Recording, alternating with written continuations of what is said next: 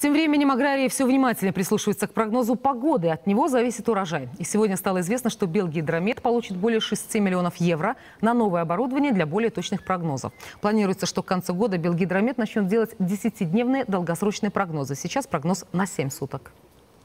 Если исходить из опыта мировой практики, вот те изменения климата, они, конечно, здорово повлияли на всю климатическую ситуацию во всем мире, в том числе в Республике Беларусь. Соответственно, идут экономические потери. Эти экономические потери, по мировым данным, составляют 10 и более процентов. А если точно прогнозировать и давать прогнозы всех наших погодных условий, можно эти экономические потери уменьшить.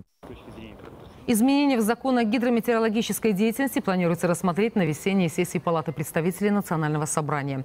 Также Белгидромет совместно с МЧС планирует разработать систему цветовых кодов опасности гидрометеорологических явлений для информирования граждан.